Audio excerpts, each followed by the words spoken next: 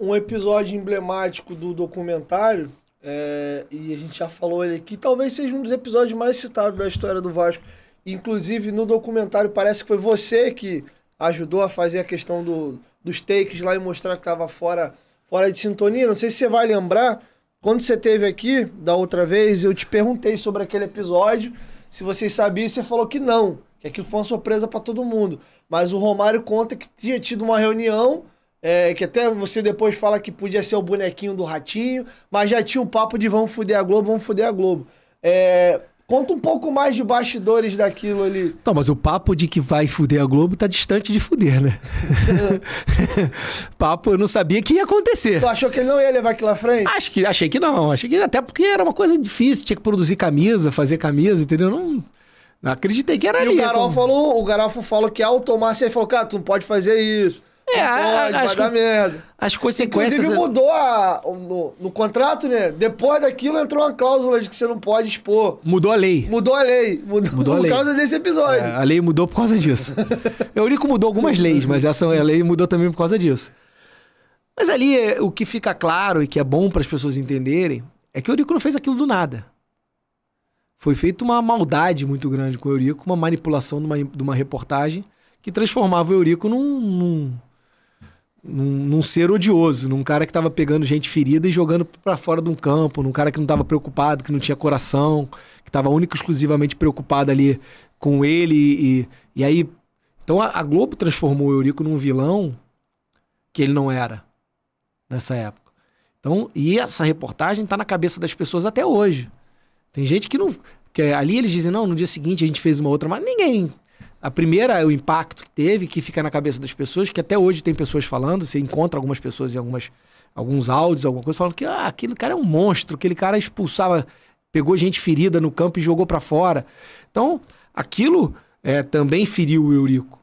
Então, quando, quando eles admitem que fizeram aquilo, dá uma para as pessoas terem uma outra leitura. Não foi do nada que o Eurico resolveu é, botar o SBT na camisa e aquela ali também já tinha começado, a Globo já tinha perseguido o Vasco na questão do, do adiamento das partidas da semifinal do Campeonato Brasileiro e da final da Mercosul, aquilo já começado antes, entendeu? A Globo também não fez aquela matéria, que não foi a Globo, foi algum jornalista da Globo. A, a organização não, não tá ali olhando tudo que se faz. É, ali o jornalista fez, porque já tinha um rançozinho de duas, três semanas antes da questão dos adiamentos dos jogos, já tinha um, todo um crescimento de uma, de uma rixa ali, que culminou com aquilo e culminou com, ali com o SBT. Inclusive, aí, uma das coisas que se conclui no documentário é que a Globo mostra no documentário que ela conclui que o Eurico misturou a vida dele com a vida do Vasco.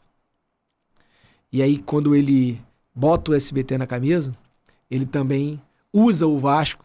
Uma briga que em tese seria uma briga dele. seria dele. E a própria Globo admite que ela também misturou o Eurico com o Vasco. Quando ela, ao invés de contra-atacar o Eurico, ela contra-atacou o Vasco, asfixiando o Vasco financeiramente, tirando, dificultando o Vasco de receber recursos, dificultando o Vasco de arrumar patrocinadores. Então, ela, da mesma maneira que o Eurico confundiu a vida dele com o Vasco, a Globo também confundiu o Eurico com o Vasco quando ela reagiu de forma desproporcional atingindo o Vasco e não o Eurico. Mas tu concorda que teu pai misturava o, o, ele, a figura dele com, com o Vasco? Não, o que eu concordo é que meu pai misturou a vida dele com o Vasco. A vida dele passou a ser o Vasco. Então as coisas acabaram que se confundiam. Ele, tava, ele vivia só o Vasco, então a vida dele era o Vasco. Meu pai não tinha lazer, não, tinha, não ia no cinema, não ia no shopping, então Claro que ele misturou a vida dele com o Vasco. Agora, as conclusões que as pessoas levam disso, na maldade, ah, ele misturou a vida dele no Vasco, quer dizer que ele se aproveitou do Vasco na vida dele, que ele pegou o dinheiro do Vasco para a vida dele. Essas coisas foram comprovadas depois de 10 anos de investigação da Polícia Federal, da Receita Federal, que não eram verdadeiras. E isso é o que basta. As pessoas mostram lá no documentário que ah, tem um relatório da CPI que desviaram 20 milhões do Vasco. Primeiro que ali já da brecha eu vi até um cara comentando no Twitter, fazendo uma conta que o Eurico desviou 20 milhões, aí hoje daria não sei quantos milhões. Esses 20 milhões que a CPI falam são os 20 milhões que passaram na conta do, do Aremitas, mas que não foram usados pelo Eurico. Esses 20 milhões pagaram salários. O próprio documentário, o cara admite lá que esse dinheiro era para pagar salários de jogadores. O dinheiro circulou na conta dele 20 milhões, mas que não foram desviados do Vasco 20 milhões. pai também. Não, na conta de. É, na conta do meu pai não tem esse, esse vínculo de 20 milhões, é na conta do Anemita, esse vínculo vultuoso. As contas que acharam do Eurico de pagamento, achou pagamento de conta de internet, pagamento. Não, não... Aí eles botam os 20 milhões como sendo os pagamentos do Eurico, porque o Eurico já usava a conta do Aremitas para pagar contas. Aí quando o Vasco teve as contas penhoradas, e o Eurico não usou a conta do Aremitas porque ele quis usar uma conta que não.